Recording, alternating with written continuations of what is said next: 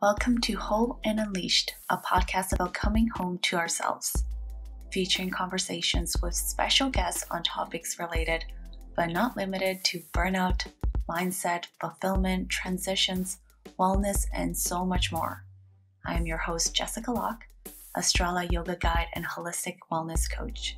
And this podcast is not about telling you what to do. I believe we all have the answers we need within this podcast is here to inspire you, help you find clarity, and maybe give you an extra nudge towards living wholeheartedly. And of course, we'll be sharing tools and strategies from our guests to embrace your inner wisdom and live unleashed. Ready to dive in? What does it mean to live courageously? To show up even when things are hard. I'm so delighted to share today's conversation with a dear friend, Kristen Esquivias, where we talked about what it means to live with courage, authenticity, and grit. Kristen is an executive and personal coach, supporting individuals to reach their next level of success in their careers and beyond. Clients often seek Kristen's support at times of change, expanding responsibilities, seeking a new position, pivoting careers, or wanting something to shift, but uncertain of where or how to start. She helps her clients connect to an authentic path forward, one aligned with what matters to that person, and discover new possibilities to achieve their goals. Kristen's coaching experience ranges from corporate clients to entrepreneurs, emerging leaders to seasoned managers and C suite executives, and spanning across functions, departments, and industries. She brings all of her experiences as a corporate leader, yoga teacher, mom of two, committed student of personal growth and leadership development into her coaching work to create trust, connection, and empathy. She's grateful to get to do this purposeful work in the world and make an impact in others' lives, one conversation at a time. In today's episode, Kristen shares the ABC method approach, where she goes from hyperreactive to being more mindful and present her relationship with her grandfather and how it inspired her to find what she's passionate about, the importance of pausing and celebrating how far you've gone and where you're at, how she connects to her inner compassion when the self critique gets too loud, and how she incorporates the Enneagram system frameworks to support her clients. Come grab a drink, get cozy, and join our conversation. Welcome, Kristen. I am so honored to have you here today. And I already know we're going to have a very nourishing one hour conversation. Mm. So I look forward to it. You're a certified coach, facilitator, speaker, yogi, and mom. You're also the founder of Courageous Growth, where you support individuals, teams, and organizations to reach next level success. Tell me more about you. oh my gosh, where to start? yeah. Um, I could say so many things, but you know, I have just been on this journey the last five years of really what does it mean to live with courage, to live from a place of authenticity, to live with a sense of freedom and alignment with your own truth. And so those are the types of things that I use to like guide me in what I do and how I do my work and how I live my life. So I am so grateful for the work that I get to do as a coach and working with individuals and supporting them to really find that empowerment to be at choice with their life. Um, I work in the yoga space. It's just like, oh, so much fun. And I, I'm so honored to get to share my love and passion for yoga with folks. And my little sweet babies, my daughter is eight, my son is six. And so they just they help keep me grounded and like really challenge me to to practice what I preach and staying present in the moment to enjoy time because oh my gosh, I can't believe I've been a mom for 8 years. It's wild how fast time goes. Yeah, but I'm so excited to be here with you and have this conversation today. So thank you for having me. Mm. I love how you started with the past five years, you've been asking yourself these questions on courage and alignment and growth. And those are they sound simple on the surface, but they can be really, really challenging. Yes. What led you to, I guess, go down that path of exploring and diving deeper? Mm. You know, five years ago, my grandfather passed away, and he was the most inspirational person in my life, such a key influence growing up for me. And right around that time, it was kind of like, what do I really want to be doing? And I, at the same time, a good friend of mine had given me this book recommendation for Grit by Angela Duckworth. And I was like, okay, I'm going to go read this book. And 40 pages in, I get to her formula of what is grit. And she talks about it's the combination of passion and perseverance. And I was like, I got the perseverance thing down, but what am I really passionate about? Like I loved my job and I loved like I I had so many great things that I was grateful for in my life and had achieved really amazing success in my career. And on the surface like everything was really good but i was like what am i what's my passion? And i looked at like the way my grandfather lived his life and the impact that he had and how he touched so many people's lives. Like unbelievable to see the amount of people that had just come to pay their respects at his um, celebrations of life that i was like i don't know what that thing is but that was like the mm. spark of there's something more that I want for my life and for myself and for what my contribution is to the world. And so it's really been this journey of like, okay, well, what is that thing? Um, and so it's been a it's been a lot of soul searching. Uh, but I feel like I've arrived at that place and I'm it's it's taken a lot of work and a lot of effort and a lot of courage, but I feel like I've arrived. And I've had a lot of really great teachers to help me along the way. What does it mean to be there, to arrive? Does it mean you don't, you know, have goals or anything? Like how do you find the balance between wanting to accomplish all the things you have for yourself and being okay with where you're at? Because that's what it sounds like. Mm. It's so funny you asked that because like three weeks ago, I was just talking with an old coach of mine and she was like, Kristen, you have worked so hard to get to where you are with your business. Can you just give yourself permission to enjoy the fruits of your labor and like let yourself really be where you are and know that this is a really great place to be and and trusting yourself that you're never going to give up on those things that you want. Like oh my gosh i want to do a million things. Yeah. So many ideas. But can i just be here and like enjoy it and not have to go and do and i've i've got like a strong achiever in me and a perfectionist in me and a doer like a lot of women and people that i think you have said are listening to this podcast. Um and it's something that i practice with my clients too of like we're so caught up in like what's the next thing to do? And that's a big part of our culture too is like go go go do do do. That giving my clients even the space to celebrate and look back and what a look at how far I've come. Look at how mm. much I've accomplished. Look at how I've changed. Look at who I'm being now and like yeah. relish in that so I'm giving myself really this a lot of space and permission this summer through the summer to just like enjoy where I am and yeah. knowing that I don't have to do anything more than what I'm already doing. And I'm doing a lot. So this is enough. Yeah, let that be enough. Ugh, you're so right about always looking forward. And I my background was in advertising and everything we did was due yesterday. So we never we were ne- never able to catch up and we were constantly behind. And this mentality and culture you can see it everywhere like the fear of missing out and you're mm-hmm. always just trying to catch up with the latest social trends it's so exhausting to live that way but when i think we briefly talked about like just looking past at the uh, looking back at the past couple of months and realizing oh i've done i've accomplished all these things i wanted to do i just need to enjoy it instead of mm-hmm. keep looking forward and just you know i accomplish it and keep like skipping the rocks mm-hmm. and missing it mm-hmm. completely yeah. I mean, it's like that cliche. It's not about the destination, it's about the journey.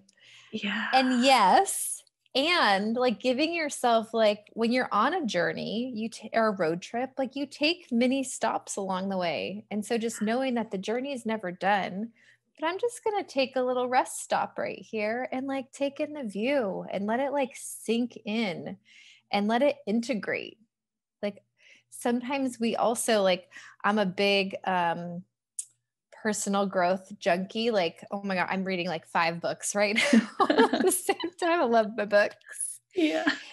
And I have some clients that I've been working with too for probably a couple years and they're like okay so what's the next thing to learn and and sometimes that's just there's nothing that you need to learn or do it's allowing like all that you've experienced to integrate and to settle and to marinate and to soak up and really just embrace that season of change that you just went through mm.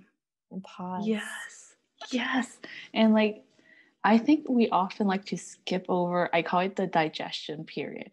Because mm-hmm. you learn, well, the way I used to function is like I learned something, I understand that's my habit, and then I go into the doing.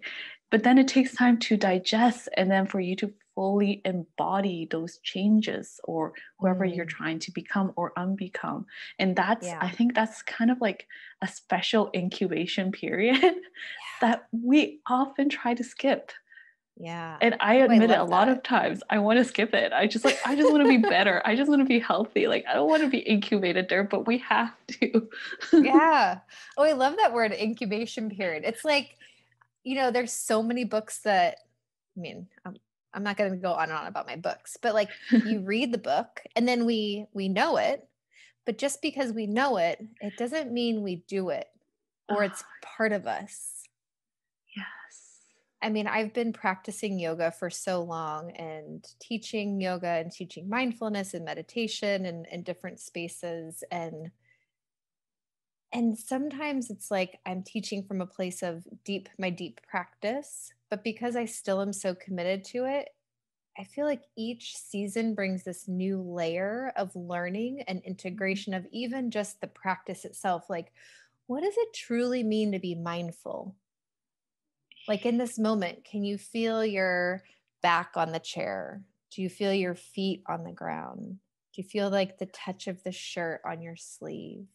Do you feel your hair kind of resting on your neck and your glasses on your face and the temperature of the room?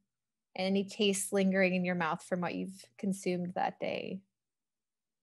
Like to really be that present. Mm. That was so powerful as you were just like naming all the items. I'm like, yeah, I feel more present and grounded. Just and it doesn't take a lot.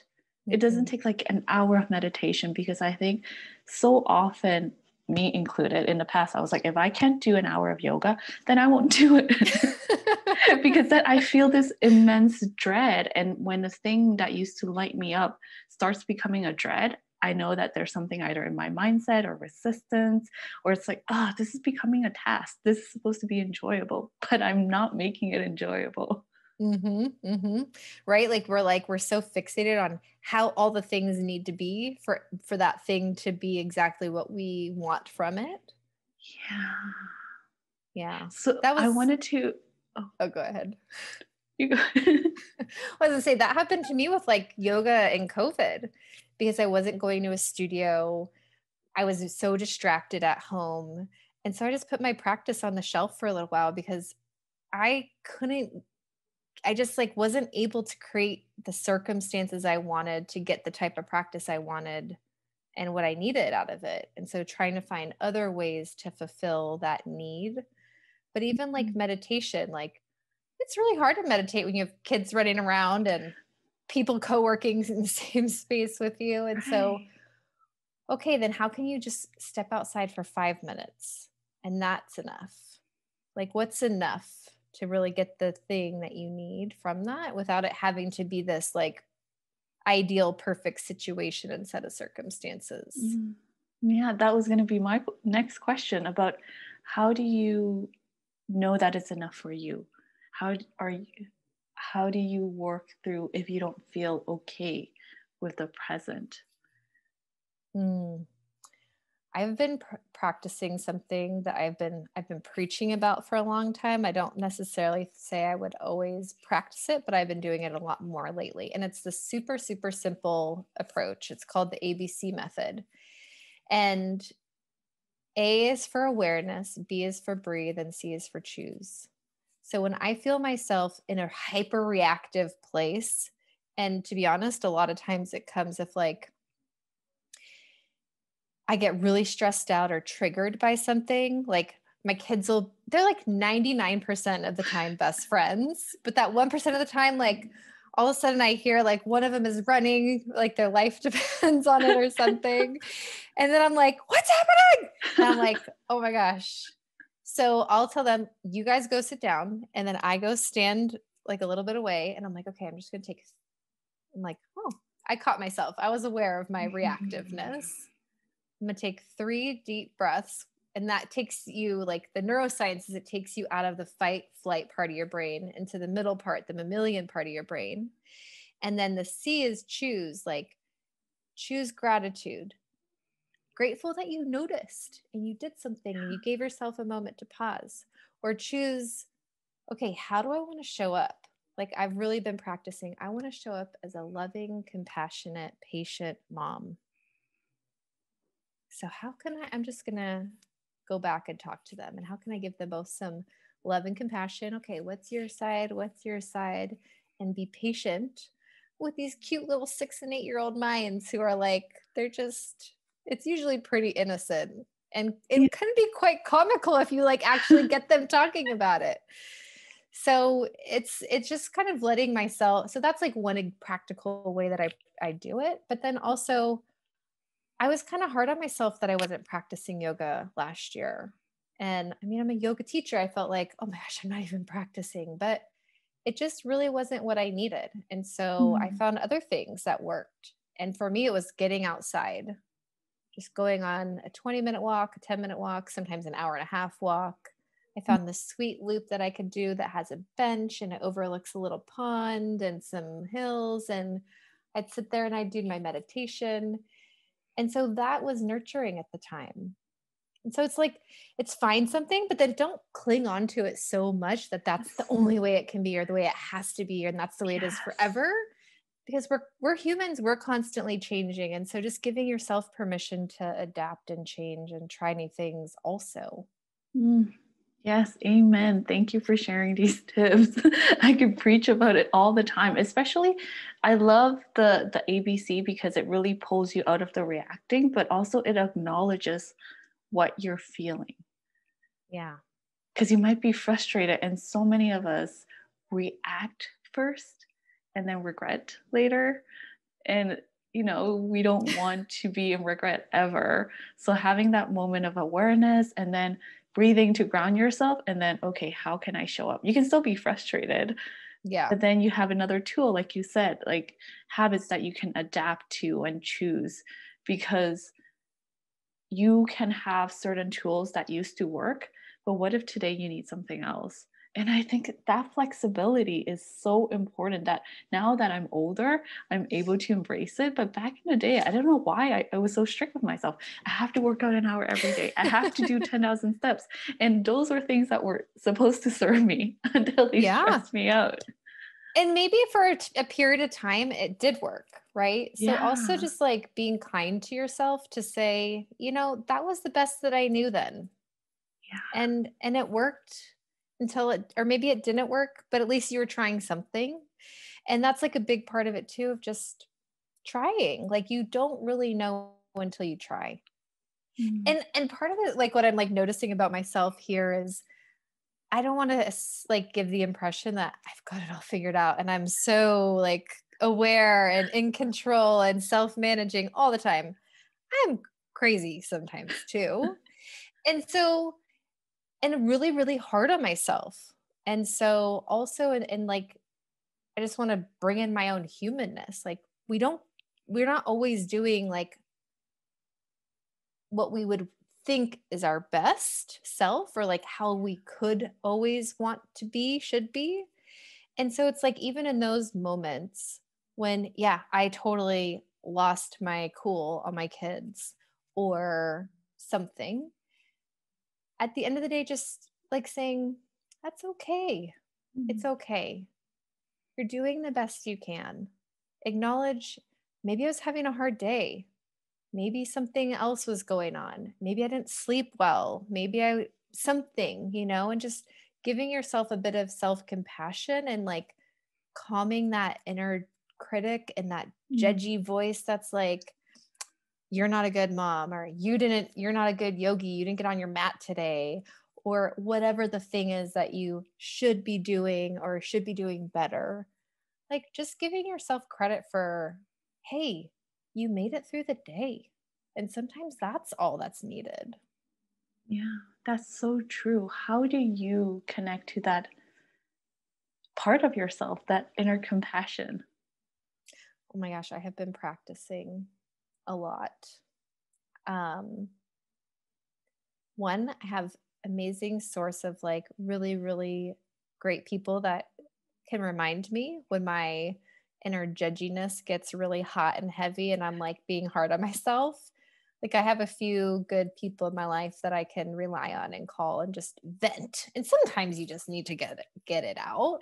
Yeah. And then they remind me like you're an amazing mom. You're an amazing person you have the biggest heart. You're making like and they reinforce some things to me. So it's so important to have that network that love that support and that community to uplift you and and and to hold you when you're just like having a moment or having a day or a season. Mm. um but then also something that i really have been doing a lot of is journaling. And i just like to get all that out on paper and when I'm noticing I'm like really, really stuck in like a lot of self criticism or doubt, ending that journaling with a gratitude. Like anytime you can come back to gratitude, it there's like almost no room for that self critique to take over. Like your your inner critic is really just trying to come in and keep you safe. Mm-hmm. And like and sometimes safe means stuck in the same patterns that you're in whether or not they're actually like productive or healthy or good or the ones that you want to be in but they're safe in the sense that they're predictable and that you yeah. you know like your inner critic knows where it's going to take you. But if it's not the way that you want to be or if it's causing you something other than what you want for yourself or in your life then it's starting to just gain awareness of when does that voice show up?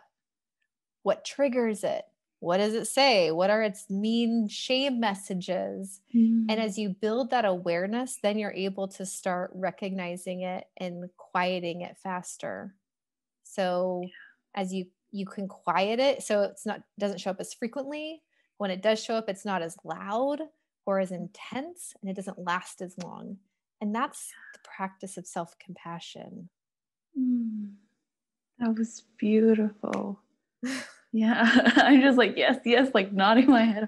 It's so true because I think so often we we might be, you know, depending on you might be a people pleaser or a helper. Like my I know we're going to talk a little bit more about the Enneagram system. I know that I'm type 2, which is the helper, and mm-hmm. I used to mm. overextend myself and help everyone. And then when it came to myself, I would be a bit more harsh more yeah. you know my inner critique was louder because it's so easy to spiral in your own mind and your own thoughts yeah. so it really helps like you said to have a network of people or even a coach or someone you can talk to that will call you out for it but also hold you in a safe space to vent mm. mm-hmm. yeah so thank yeah. you for sharing that yeah I've, i'm so grateful i've had a handful of like amazing coaches and therapists in my life that have really helped me to do a lot of that inner work. Mm-hmm. And it's it's I think a a practice. It's not you're never done. Um and it's something that you need to keep practicing and it's courageous. It's scary. And so finding someone that you really connect with that can like you said hold you safely and lovingly and also help you like see yourself in a mirror and then see what else is possible and just keeping you accountable to doing that work mm. and finding something that works for you like i've got a whole long list of self-compassion exercises and you could read books about it and it's all over instagram and you know but until you really practice it you're not going to find something that works for you yeah. so it's just being willing and committed to to practicing it. Yeah. And I think part of the practice is that you might be triggered or you'll be very uncomfortable because you're aware of it now. So so now you have to kind of like, okay, this is when these tools matter the most. When you put them in practice, when you're in a position where, oh, I hate everything. I feel so stressed out. That's when the tools matter the most. Because when you're happy, of course, you're going to find gratitude in a second. Yeah. But when you're not, that's when they matter the most. Yeah, completely. Yeah. Oh. I wanted to ask you a little bit more about your business, Courage Growth. Tell me what you do. Who do you work with? Oh, I love the work I get to do. Um, so I work with a lot of the folks that come to me.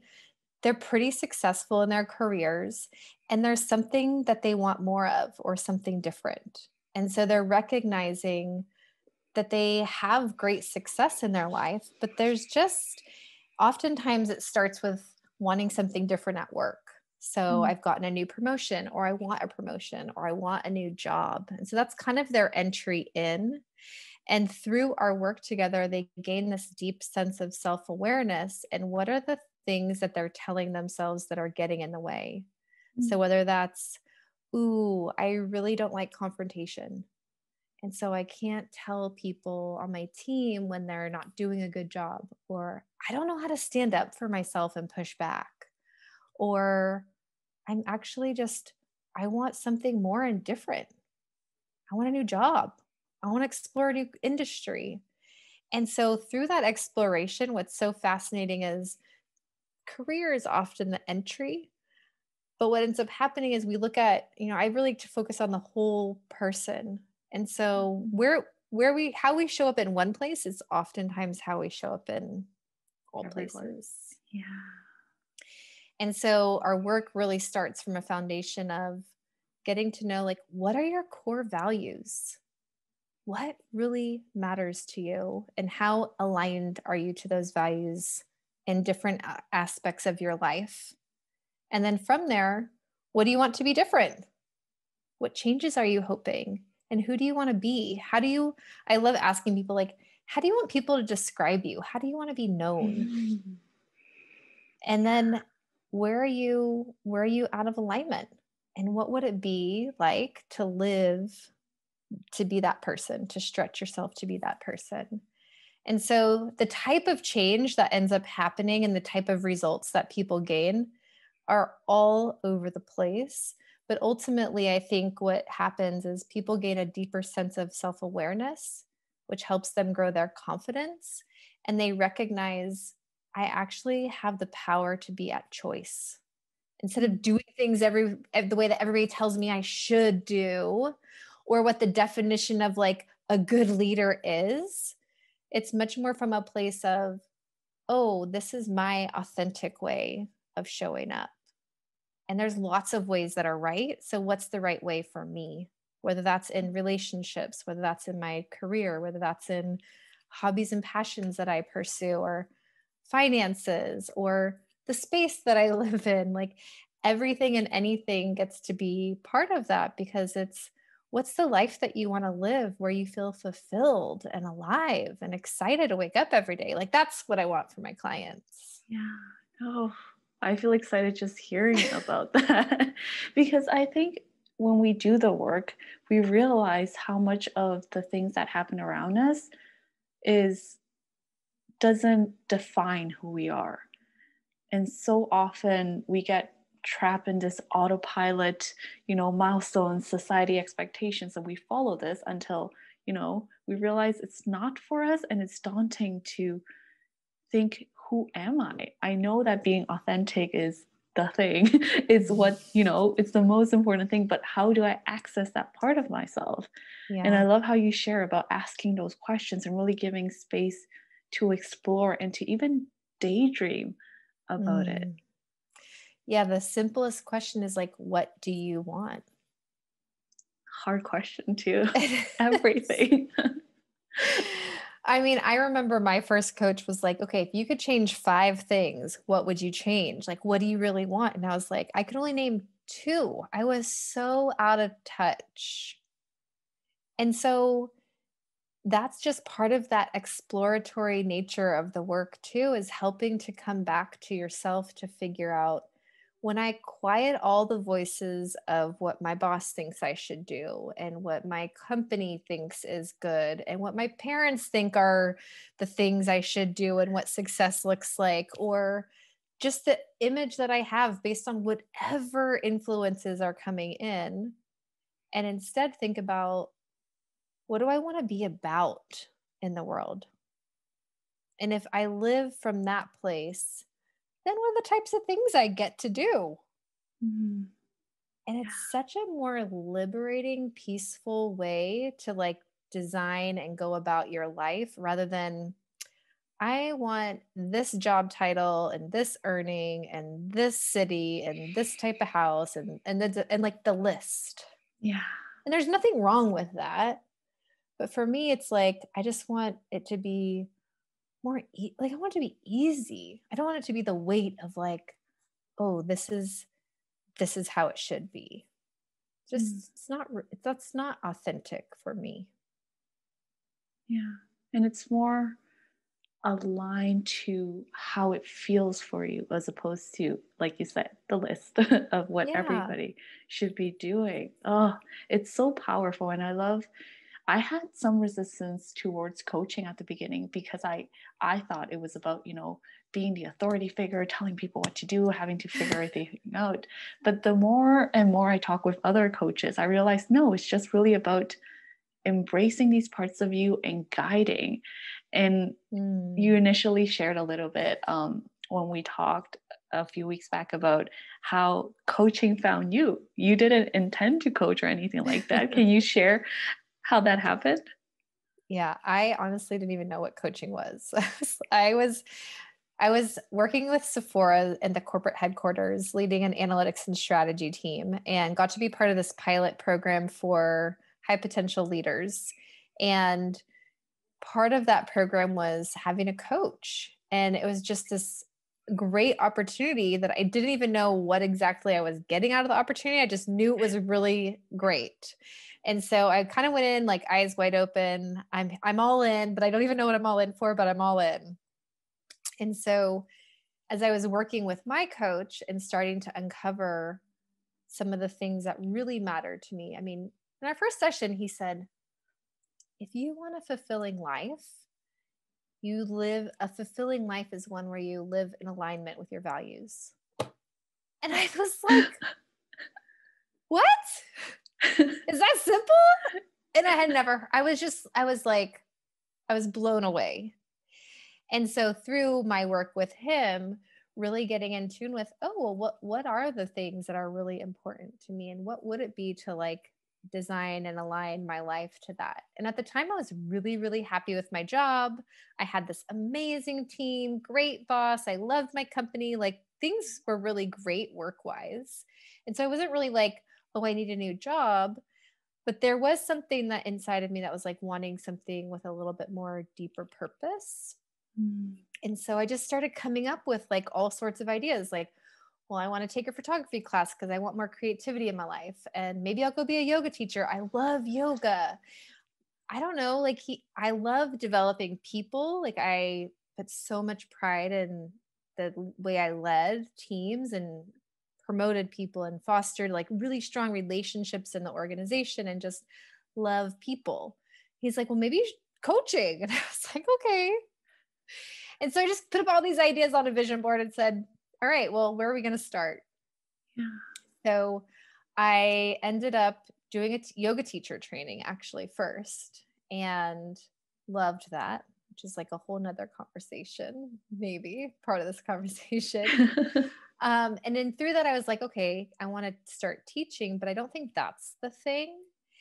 And so then I said, I'm just going to go take a coaching class. And if nothing else, it'll help give me a new set of skills to be a better leader. And so I did a class, it was two and a half days. It's like two and a half days, nothing really to lose, so much to gain. And I loved it. Mm. I loved it. And so I kept going through the training program and about halfway through the program was able to work with my leader and my hr partners to start coaching internally in my organization And then as I started gaining momentum and doing that more and more, just realized this is what I really love doing. Like, mm-hmm. I love to be with people. It's such an honor when this it's a sacred special space where all the walls come down sometimes slowly sometimes fast and people really let me in to their heart to their truth to their like most vulnerable places that they're like nervous and scared to give voice to mm-hmm. and we do the sacred meaningful work where they get to know themselves better and really create this vision for their life and tackle the things that they're scared of, whether that's a conversation with somebody or pursuing a dream or even just naming a dream. Mm. It's profound. It's beautiful. It's so sweet. And it's making it makes a difference in the world. If more people are really living with truth and authenticity and courage and aliveness and joy and like not from that place of shoulds and fear and hesitation. I just imagine like what that ripple effect would be and is. Oh, I want to live in a world like that. and I know we're moving towards there, hopefully. Are you ready to create space for ease and alignment? I've created a free starter guide to help you go from frazzle to focus it's a guide for the overwhelmed go getter who's eager to find more ease, clarity, and alignment in their lives so you can quiet the noise and strengthen your connection within. After all, we can't align what we don't know is misaligned. Simply grab your free copy at wholeandunleashed.com slash guide. I really appreciate you sharing how when you found coaching, it wasn't like your life was crumbling and you know things weren't working out because oftentimes when I look back at when I transitioned my career, I wasn't really in a place where things were falling apart. Like I wasn't the healthiest. I just knew I was out of balance and I knew that I followed that inkling because there was something more. And it's so important I think to really honor that feeling that wants to pull you into mm. trying something out.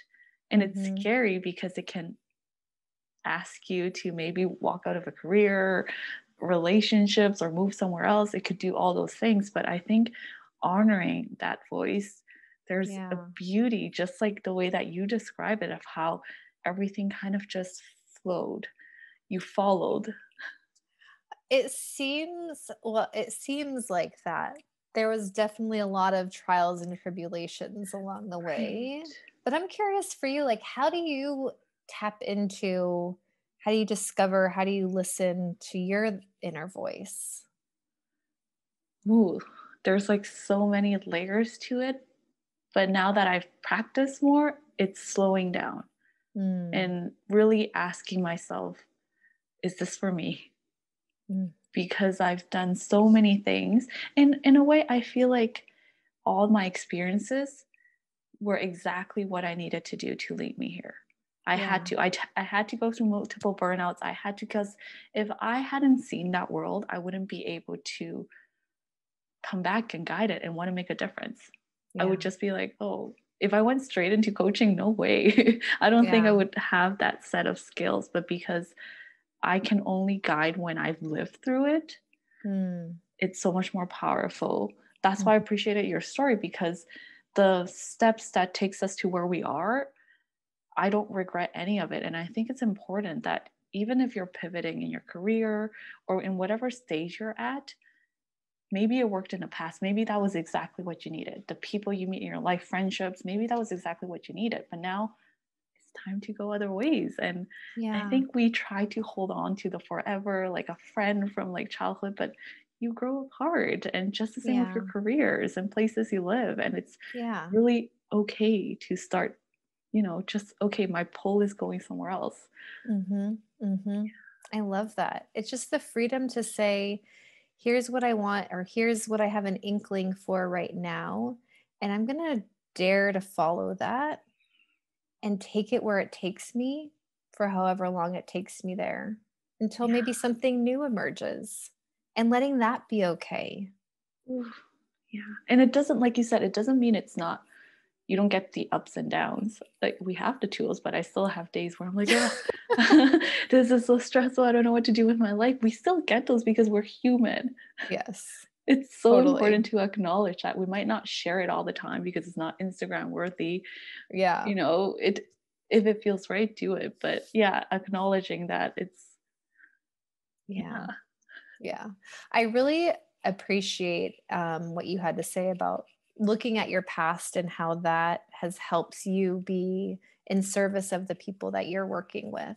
And I 100% agree. I was I was meeting with a client this morning even and she has so much pressure that she's putting on herself with her work. And she has two young kids and she's like I just don't feel like I'm doing my best anywhere and mm. I could just so relate to that feeling like never, it was never quite enough, but I was giving more than I even had to give. And so just being able to acknowledge her experience and normalize it and just let people know you're not the only one. Yeah. Because these are like, these are really dark places and fears and shame and guilt can like really cloud over us in those moments. And we don't talk about that enough. Mm-hmm. And we want to have our stuff all together all the time. And we don't want to let people see really like we're not really keeping it together as well as everybody thinks we're keeping it together. And part of what I love about also some of the other work I do is it is work in groups. And I'm just thinking about a group I was facilitating it was like 2 years ago now because it was pre-COVID. But there was a woman who was maybe 20 and then another woman who was in her 60s and they were both having a very very similar challenge. Mm. And it was so sweet because they were like they both acknowledged each other and saying, it made me feel, the 20 year old was like, it made me feel so good to know that stuff that I'm struggling with, someone three times my age is also struggling with, and that we are all struggling with something. And so, just having that shared experience to recognize our common humanity and that we all struggle and that we are not ever alone and no one has it all together and all figured out. Yeah. Is so profound. It's I I'm so grateful you brought this up because we met at a mastermind and that was for me the final part of like I guess coaching that helped me really come to myself because it wasn't I think one-on-one would have helped me but I had to be around other people. I I wanted to recognize myself in others and also you know be seen and hold space and it's so mm. powerful because we're a community and just that's why i think you know social media has taken off so much because we want to connect to others. We want to and you know anything can be good or bad depending on how you consume it. But i think the need for connection is happening regardless if we are aware of it or not. We're humans. We mm. just want to be validated. We want someone to tell us it sucks you know nobody's going to solve anything for you but we just want to be heard. And seen and know that we're not alone because when we're going through those darkest places we think we're the only one because we're so consumed by you know the pain yeah. and discomfort yeah and we allow ourselves to stay in those painful parts yeah i was thinking about it this morning i was like why do we stay in our pity party but we don't allow ourselves to relish in the joy. Mm. What came up? Well, I was thinking about um, a couple years, like early in my coaching business, I um, would do I do sample sessions with clients. So I'll meet with somebody and chance for us to feel each other out, like do you like me and how I am? And are you a type of client that I think I can serve and help and be with? And are we a good match for each other? And at the beginning, when I was had just left my corporate job and I was starting a business. I'm like, I need clients. who wants me? Who wants me? um, come a long way. But um, I remember like getting turned down from this client that I thought we had a really, really great connection. And I was had just gotten in my car after I had seen the email and I said, okay, I'm going to allow myself for the next 10 minutes while I'm driving to have a pity party because I just, you have to feel it. And yeah. then hmm. I'm going to, re- I'm going to be done. So I gave myself permission to go there. And I was like, man, how did you mess that up? What did you say? Were you trying too hard? Were you too aggressive? Were you not aggressive enough? Like all the things. right, right. And then I got to where I was going and I was like, okay, well, that's done. That just wasn't meant to be. And I know something new is coming. So I'm okay. So I just let it exist and let it out. Yeah. And then I had such a great weekend this weekend. It was like in the 80s, the sun was shining. I got to, I was in a, a workshop on Saturday that was just all about self compassion. So it was filled me up. And then I spent time with like really good friends and my sister and sunshine. And oh my, it was just live music for like the first time in a long. I was so filled up. And how quickly we're like, oh, back to work or, you know, mm-hmm. on to the next thing. And I was like, I'm just going to really ride the high of the joy that I feel and like just let it seep into my week and keep bringing back memories and moments and looking at pictures and like just it's still like I'm still so full from it. Yes. Yes. I you know, I can totally relate and I think I remember reading something about Brené Brown that was like tragedy dress rehearsal or something where you don't allow yourself experience joy because you're afraid that it won't last. Mm-hmm. And I can't it you know, I never knew that's how I was because something great would happen and then I'll tell myself like don't believe it too much or don't don't feel that joy because it will be taken care taken away from you and even if that's true why shouldn't we like relinquish every second of it. Yeah. Yeah. Like that i think she calls it like foreboding joy or something where it's like it's good but don't get too comfortable because it's not going to last forever. Yeah. And honestly i think something that i um, something that I really, really believe is the depths to which we're willing to experience any emotion expands our capacity to feel all emotion. Can you repeat that? so, the depths to which we allow ourselves to feel any emotion, so whether that's joy, pain, anger, contentment, it expands our capacity to feel it all. Mm. So the more you're willing to let yourself like sit in the discomfort, expands your capacity to enjoy the comfort. And I I don't want to say like the good versus the bad because I don't necessarily like to even label our emotions. Our emotions are emotions. That's part of being human. Exactly. But I remember this this moment is probably two and a half years ago, and I was in um, it's like around December, and a dear family friend, uh, a family member, was diagnosed with um, something and had just started treatment, and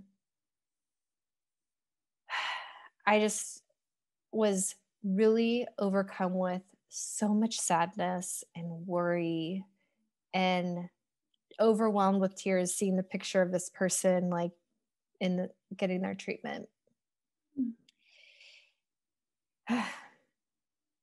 and at the same time, it was maybe a month after I left my job, my corporate job, and was starting my business. And I was in this week long training, yoga training with like one of my best friends. And starting to like really feel like the decompression of having left my corporate life and like settling into this new way of being and feeling so immensely grateful and like this deep purpose that I've been longing for and freedom in a new way and holding them both mm. at the same time and feeling like feeling the the true presence of such heartache and sorrow and sadness and immense joy and gratitude and that moment always just sticks out to me as a, a reminder like we are not one thing. We are mm. not just happy or sad or life isn't just good or bad and or busy. But as a human we have so much capacity to experience and feel so many things. And so just finding ways to really connect in with that and feel those like really really feel them. Yeah. And one doesn't outweigh the other. No yeah. Oh you reminded me of a similar experience a couple weeks ago. I i felt like an extreme happiness and also grief like a family member passed away. And i i think if i hadn't done this work i wouldn't be able to hold both. I was able to f- hold these both emotions and it none of them outweigh the other. Mm-hmm. and i could feel the grief and also the beauty of what had just happened. And well granted that by the end of the day i was exhausted, like physically exhausted, because I you bet. know those are extreme emotions. Yeah. You know, it was like this excitement of something that I was looking forward to, and then this just sadness. And then I took a bath, and I for the next couple of days I was like pretty slow and knocked up. Mm-hmm. But it mm-hmm. felt good to not push it down or to think, you know, I'm going to feel happy or I don't deserve this happiness. I'm just going to feel sadness. And I think a lot of times we think you can't feel all these ranges of emotions. Yeah. Or even giving yourself permission just to tap into one of them. Mm-hmm. Like, I don't know about for you, but for me personally, I don't know that I saw emotions modeled. Meaning, do we allow ourselves to really healthy, healthily, healthy, what I don't know what the word is, have a healthy expression of sadness or of anger or of pure joy. Mm. are those things ever like are they modeled for us that we even know what they are? Like i read this article and it said i might mess this up so that's okay. But something like a poll was done and they asked people what they feel or how many emotions could they name. And it was something they're like three to six emotions. And there's so many diff- there's so many there's such a wide range of things that we have capacity to feel mm. but we're so out of touch with ourselves that oftentimes and we're moving so quickly that we don't even know what we're feeling let alone Ooh. holding two things at once you're like what are you guys talking about it's so true so i I've shared this a little bit about how like I started getting in touch with my emotions just recently, a couple of years ago. Um, because like you know my sister and my husband they were providing like a very safe space for me to feel and they care for it. Mm. and therapy. My therapist was like you know you're a happy person great but you need to feel grief. You need to feel anger. I'm like i don't have any. And she helped me tapped into that. And when that happened i felt like you know a part of me that was always sensitive that i suppressed because i was told you're too sensitive. Don't feel. And we're also i think taught to move away from uncomfortable emotions. Maybe yeah. because the people around you don't have the capacity because they don't know how to feel them or how to acknowledge them. Yeah. So they're like, well, if you're feeling sad, we can't solve it. So they think yeah. it's to be solved. Yeah. So, yeah. So learning that and holding space for them, it's been so transformational. So thank you for bringing that up. What has it what's the gift of it that it's brought into your life? Because it's great that you can do it, but what does it give you and what do you love about it? I think just being able to feel. And the thing that I learned is that feelings are data or like it tells you like when you're feeling sad or anxious it tells you your body your mind is trying to tell you what's happening so when mm. you consciously try to push away the discomfortable, discomfortable, uncomfortable feeling, then you're going to think that everything's okay. You're going to be running with your mind instead yeah. of connecting to your body and how you're doing. Yeah. Mm, so important. Oh gosh, Out I could autopilot. yeah. right? Yeah. And I think it, might be scary at first because you don't know how to do it, but you can start with someone to hold you space or a friend and Mhm. understand self-awareness. I think it all starts with self-awareness. Yeah. Yeah. Yeah. Oh gosh, I could keep you here for hours, but I wanted to also talk about the Enneagram system. I know Mm. you incorporate in your coaching. Tell us a little bit more. What is the Enneagram system and how do you use it? Oh, I so I love the Enneagram. It's always been something that's in the peripheral that I've been interested in. And um, last year added it into my repertoire of like coaching tools.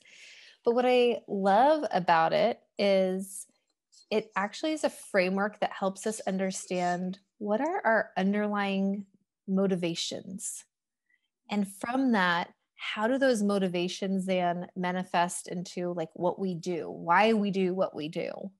So it's different from other frameworks in that, like Myers Briggs or a DISC assessment or Strengths Finder, they kind of tend to like say, type you, and this is who you are, Right. versus this really gets at what's under that. So not just, okay, are you introverted or extroverted? But why? Like what what was going on for you as a child or in your upbringing or a learn something that you learned as a strategy to help you make it through the world. Mm. And then what is it giving you and what is it costing you?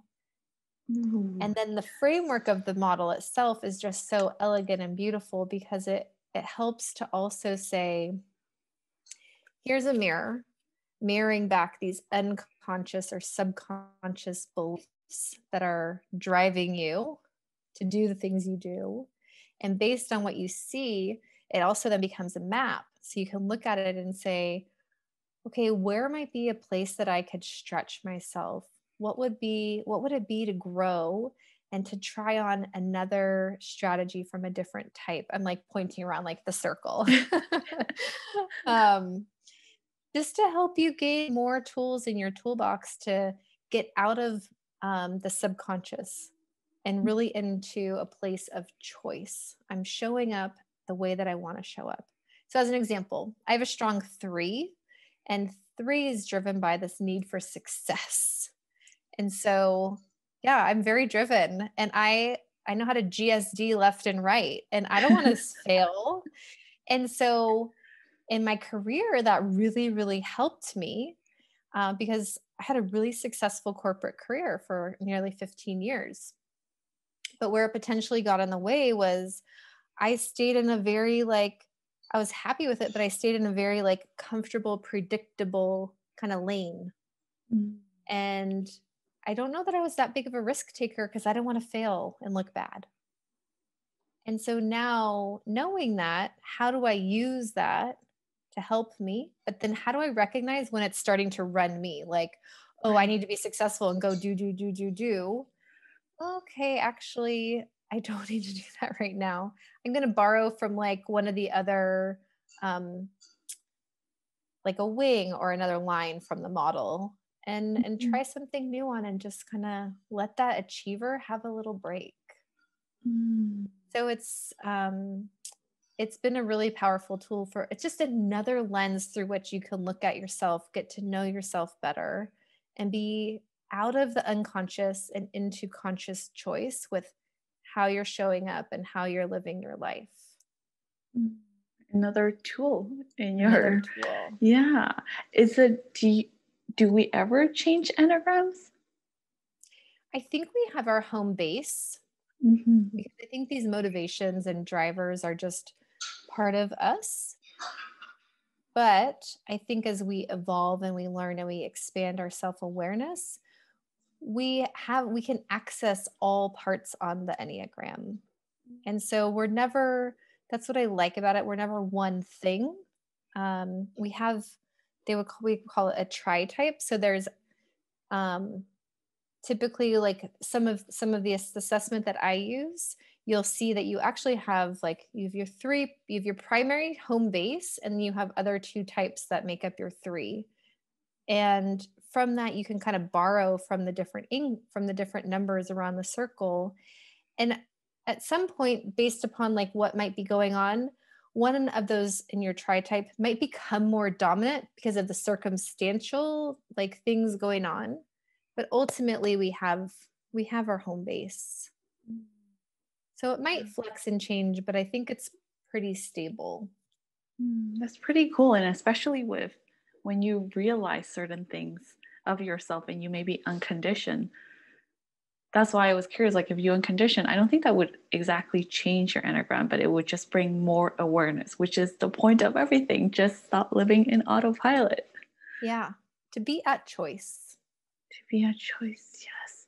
It's so powerful to know that you have a choice, but sometimes you're not conscious of it. Because yeah. I've heard I've heard people that says, you know, telling people that stress is a choice is actually it's not nice and not everybody can control their stress and i agree like there are things you can control and there are things you can't if yeah. that made any sense yeah i mean stress is a natural human experience and it's wired in us for survival. Yeah.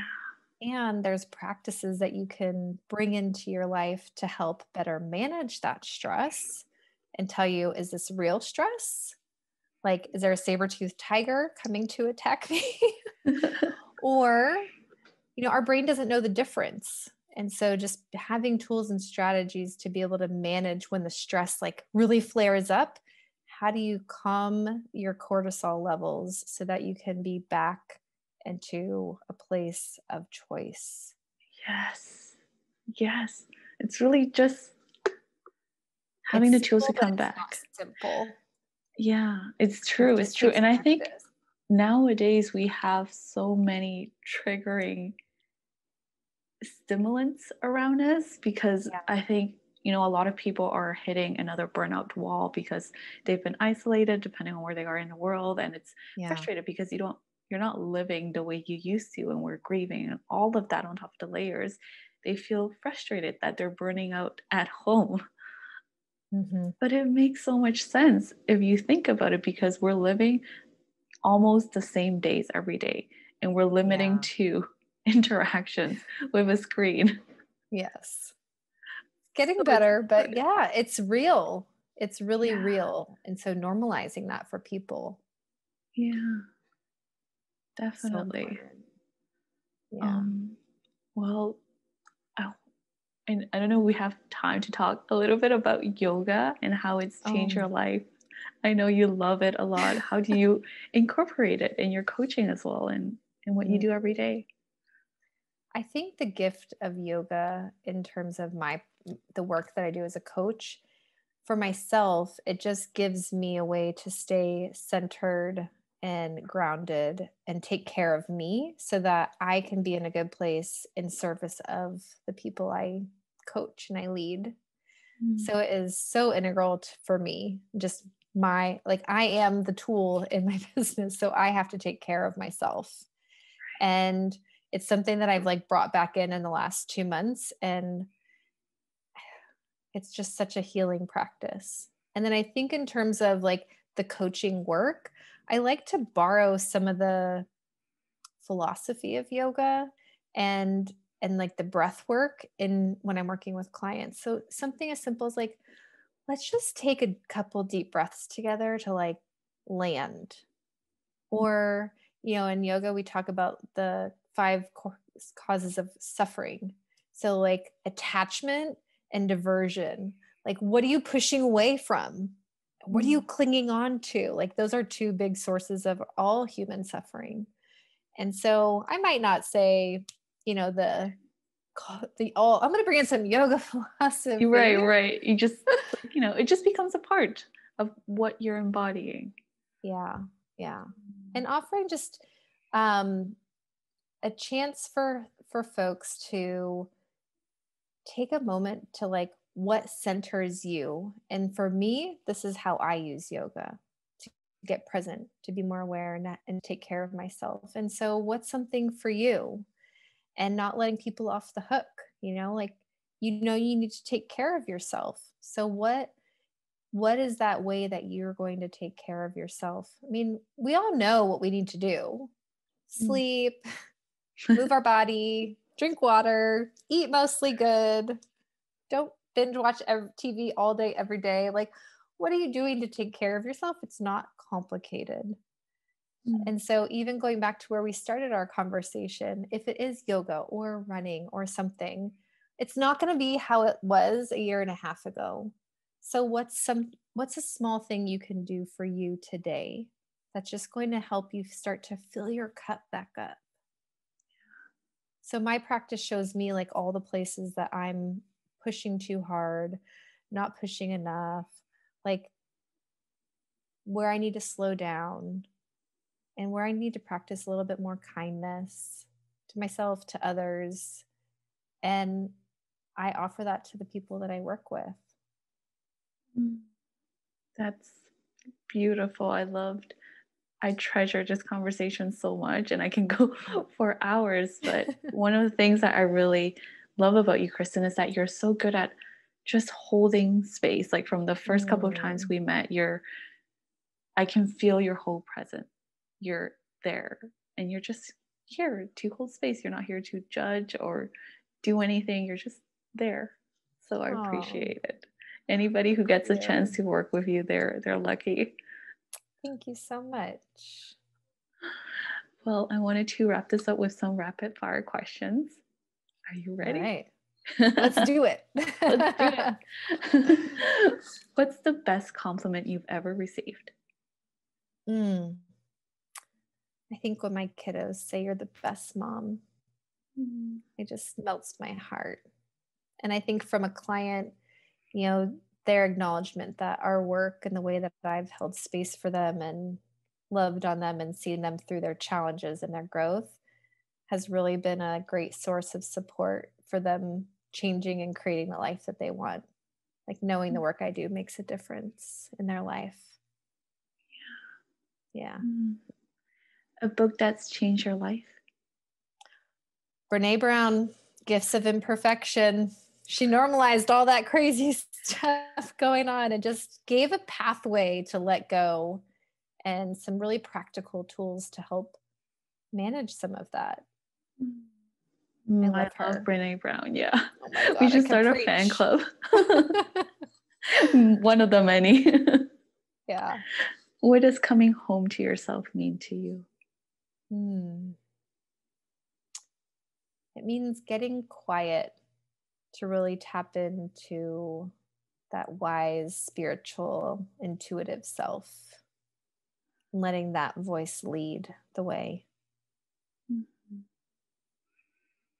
Yeah. What would you like more of? Mm. Fun and beach days. Ooh, yes. yeah. Any advice or words for your younger self? Hmm.